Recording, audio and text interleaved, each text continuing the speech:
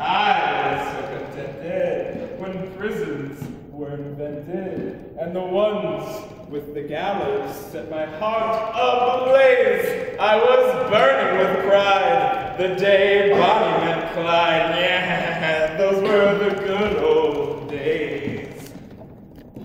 Sit in my rocking chair, so peacefully rocking there, never